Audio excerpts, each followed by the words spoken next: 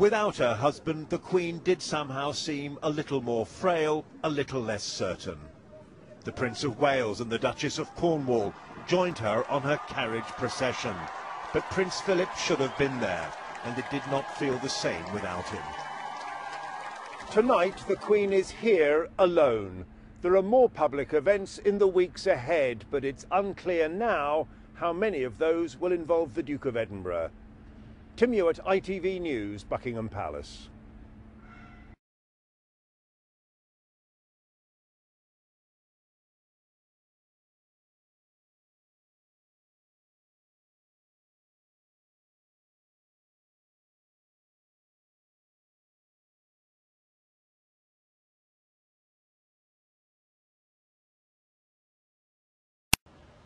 She had been forced to spend the biggest day of her Jubilee weekend without him.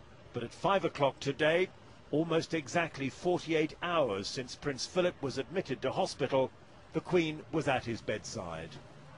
She was followed by Prince Andrew, driving himself, as always, in his Range Rover.